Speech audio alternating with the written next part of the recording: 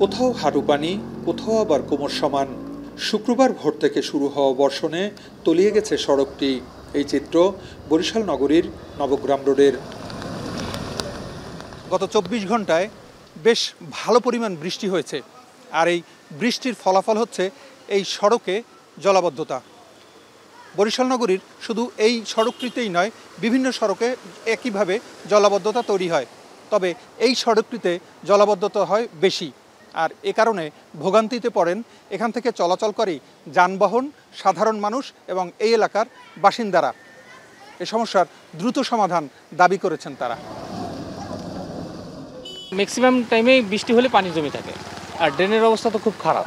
যদি রাস্তা ক্লিয়ার হয় তাহলে আমাকে বাড়িও ক্লিয়ার হইব এর আগে ক্লিয়ার হইব না। দায়িত্বশীল ব্যক্তি তারা এখান থেকে যায়। তারা যদি একটু সুনজর দেয় হয়তো এইখানের এইটা মানুষের এই দুর্ভোগটা শেষ হয়ে যাবে।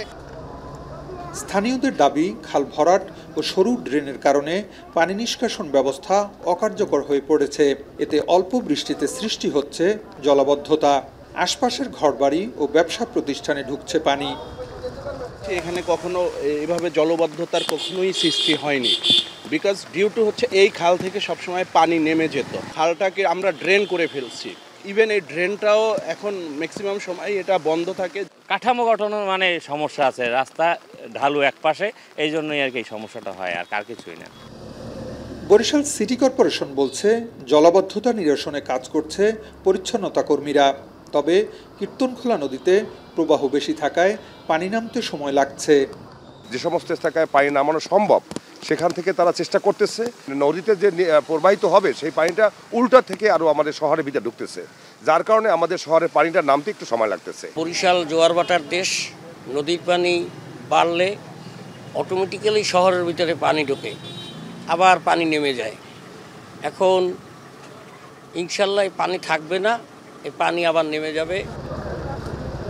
শুক্রবার বিকেল পর্যন্ত বরিশালে প্রায় দুশো মিলিমিটার বৃষ্টি হয়েছে। আগামী কয়েকদিন এই বৃষ্টি অব্যাহত থাকতে পারে বলে জানিয়েছে আবহাওয়া অফিস। ফিরদাউদ সোহাগ, এখন Barishal.